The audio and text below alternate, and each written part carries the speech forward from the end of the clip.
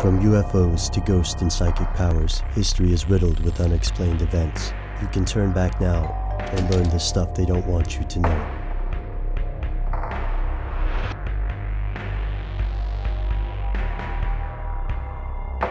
Here are the facts. In the film The Manchurian Candidate, shadowy communist forces use brainwashing, hypnosis, and drugs to turn an ordinary US soldier into an unwitting assassin. This soldier has no knowledge of his experiences. Instead, his programming is triggered by seeing a Queen of Hearts playing card. After he carries out his specified task, he forgets the entire sequence. It's a frightening proposition, and it makes for hair-raising fiction. But could it happen in real life? Several intelligence agencies actually did try to create unwilling sleeper agents, and they weren't all communist. In fact, one of them was the CIA. Here's where it gets crazy.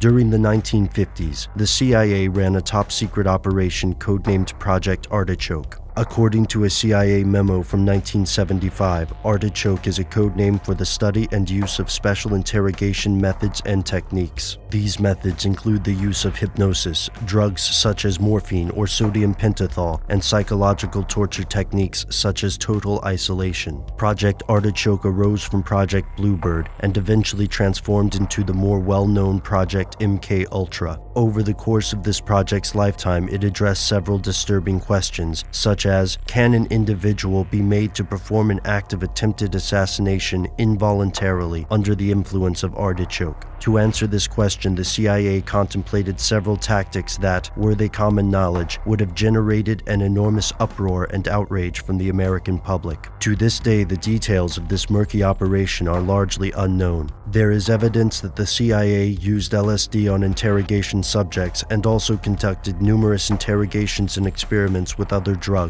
searching for a combination of techniques and substances that could produce extraordinarily compliant, suggestible individuals. According to the current historical record, these experiments were largely unsuccessful and at times disastrous. There was also at least one documented death linked to this series of programs. About a week after a CIA representative gave Army civilian Frank Olson a dose of LSD, Olson died, crashing through a window and plummeting to the ground. The death was ruled a suicide. But how close did the CIA come to creating an unwitting assassin? The most disturbing piece of evidence comes from a 1954 memo, wherein the Artichoke team describes and analyzes a plan to drug a well-connected foreign national, brainwash the subject, and return them to their normal surroundings with no knowledge of the event. The goal was to make this subject an involuntary assassin. Once triggered by a certain symbol, phrase, or other stimulus, the subject would attempt to kill his or her designated target.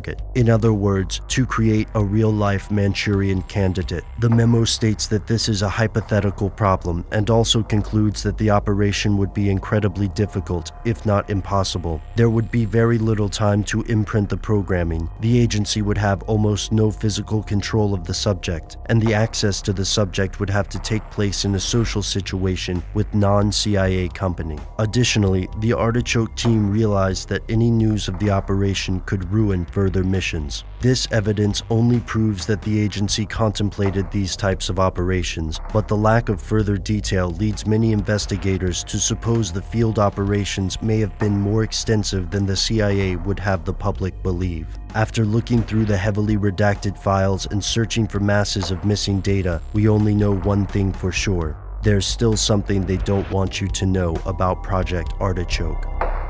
Stay tuned to learn more about the aftermath of Project Artichoke and MK Ultra.